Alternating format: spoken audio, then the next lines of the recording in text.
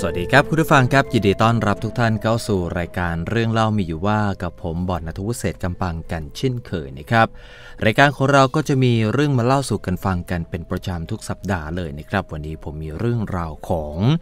ยักษ์ผู้พิชิตพระอินทร์นะฮะถ้าพูดถึงเรื่องราวของยักษ์ในรามเกียรติ์แล้วเนี่ยนะฮะหลายๆ คนก็มักจะนึกถึงทศกัณฐ์นะฮะแต่ว่ามียักษ์อยู่ตนหนึ่งที่ไม่ใช่ทศกัณฐ์นะครับแต่ว่าเป็นผู้ที่พิชิตพระอินทร์ได้ เขาคือใครครับ วันนี้เรามาติดตามกันนะฮะ ก่อนที่จะไปติดตามรับฟังกันนะครับ ก็ต้องขอขอบคุณข้อมูลครับจากกรมส่งเสริม วัฒนธรรมด้วยนะครับ ที่ผมนำเรื่องราวมาเล่าสู่กันฟังในวันนี้ครับคุณผู้ฟังครับ ในจำนวนลูกๆพันกว่าตนของทศกัณฐ์นะครับที่เกิดจากเมียยักษ์ เมียช้าง เมียกบ และเมียปลาทั้งหลายเนี่ยนะครับ ลูกที่มีความสามารถโดดเด่นที่สุดแล้วก็ทำให้ทัพพระรามนั้นเกือบจะพ่ายแพ้ไปหลายครั้ง คงไม่มีใครเกินอินทรชิตครับ โดยอินทรชิตครับคุณผู้ฟังมีชื่อเดิมว่ารณพักนะฮะเป็นลูกของทศกัณฐ์กับนางมนโท มีมเหสีชื่อว่านางสุวรรณกัญยุมา มีลูกสองคนครับคือยามลิวันกับกัญยุเวก อินทรชิตนั้นมีกายเป็นสีเขียวเป็นยักษ์ที่เก่งกล้าสามารถ และเป็นลูกลักษ์ตนหนึ่งของทศกัณฐ์นะครับ เมื่ออายุได้ 15 ก็มีการร่ำลาไปศึกษาวิชากับพระฤาษีโคบุตรนะครับ พระอาจารย์เดียวกับพระบิดาเลย เรียนจบจนครบถ้วนทุกวิชานะครับ รวมถึงมนมหาการอัคคี อันเป็นมนสำหรับกระทำบูชามหาเทพทั้ง 3 ด้วย ก็มีการกราบลาพระอาจารย์ไปบำเพ็ญตบะจนแก่กล้าครับ จากนั้นไปนั่งภาวนาอยู่ท่าเดียวนานถึง 7 ปี เพื่อบูชาองค์มหาเทพ จนพระเจ้าทั้งสามครับได้เสด็จมาปรากฏองค์ เฉพาะหน้า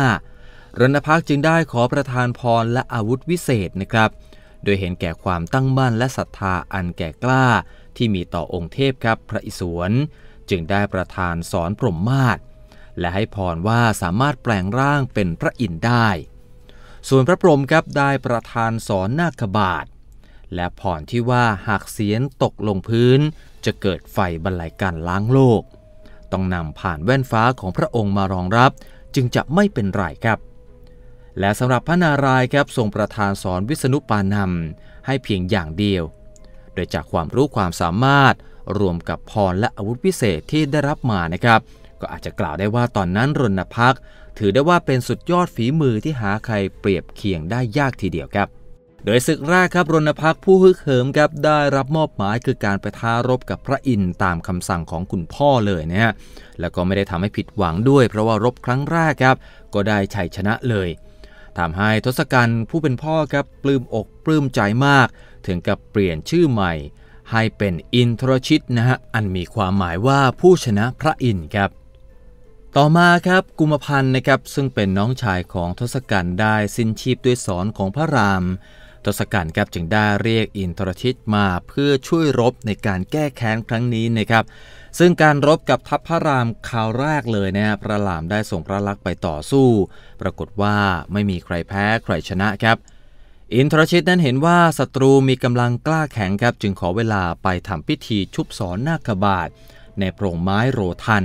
เพื่อเพิ่มอิทธิฤทธิ์ของสอนนะครับ โดยระหว่างนั้นทศกัณฐ์ได้มอบหมายให้มังกรกันผู้เป็นหลานครับไปรบขัดตาทัพเอาไว้ก่อน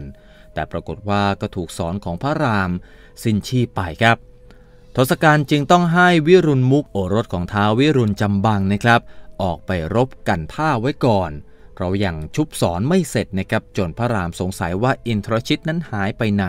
พิเภกจึงได้ทูลบอกความจริงนะครับว่าอินทรชิตนั้นไปชุบสอนนาคบาทอยู่ พระองค์ครับจึงได้ให้ชามภูวราชนะครับพญาลิงในกองทัพไปทำลายพิธีซะ โดยได้แปลงเป็นหมีใหญ่ไปกัดไม้โรงทันจนหักโค่นนะครับทำให้สุดท้ายแล้วก็ทำพิธีต่อไม่ได้ อินทรชิตนั้นกลิ้วมากครับระหว่างเดินทางกลับเจอวิรุณมุก ที่เสียทีแพ้กลับมานะครับ จึงให้วิรุณมุกนั้นปลอมเป็นตนเองไปสู้ใหม่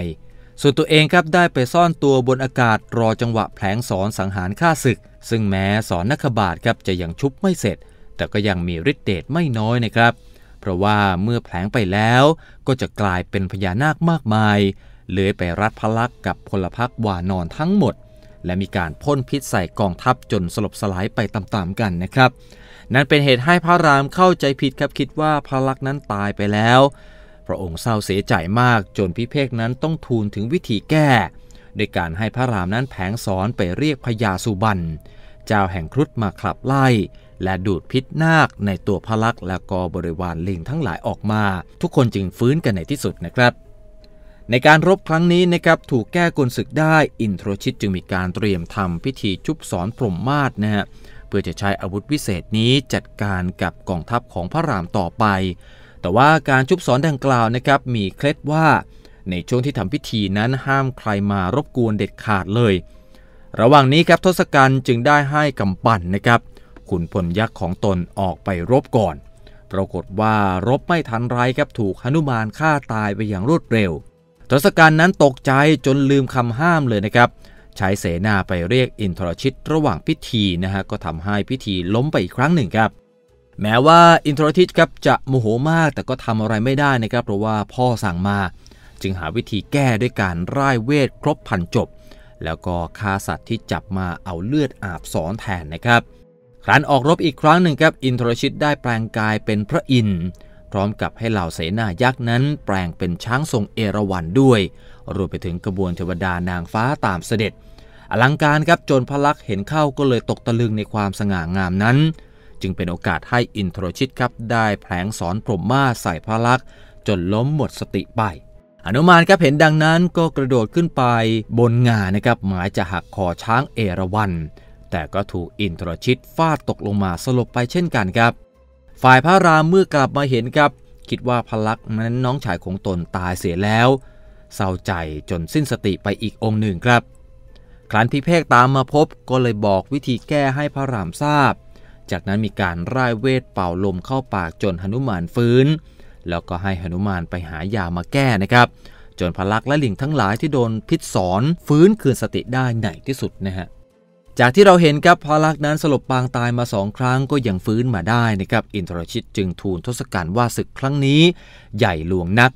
ตนคิดจะนำตำราศักดิ์สิทธิ์ที่มีชื่อว่ากุมพนิยามาใช้ต่อสู้ ซึ่งถ้าทำพิธีครบ 7 วันจะมีกายศักดิ์สิทธิ์ฆ่าไม่ตาย ดังนั้นในระหว่างนี้จะทำกลลวง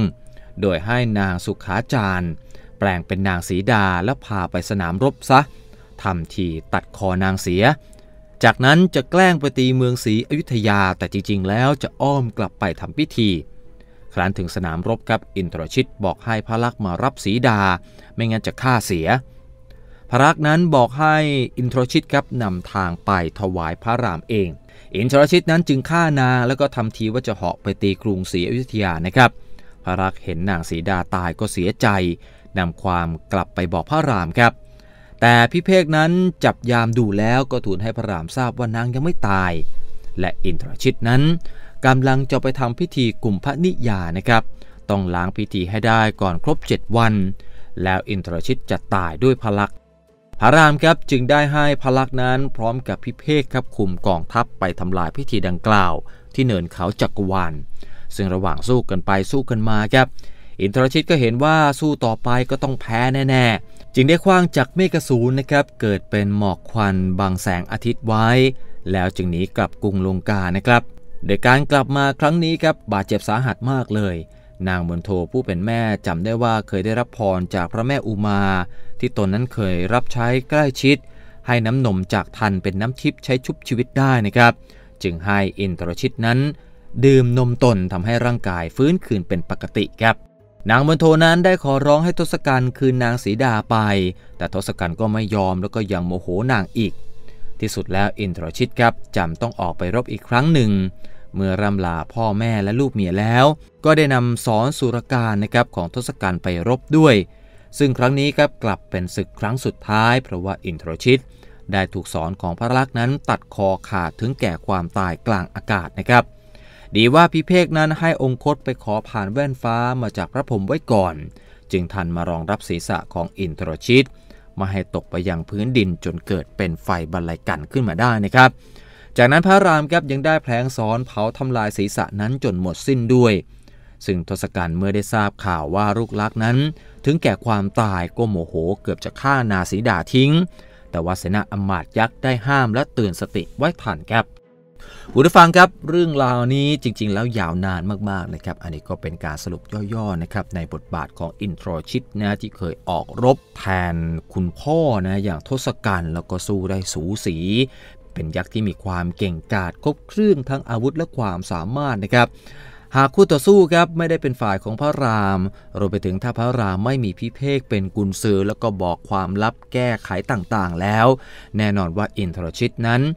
อาจจะได้กำชัยชนะก็เป็นได้นะครับก็จะเห็นได้ว่าอินทรชิตเป็นยักษ์ที่มีความเก่งกล้า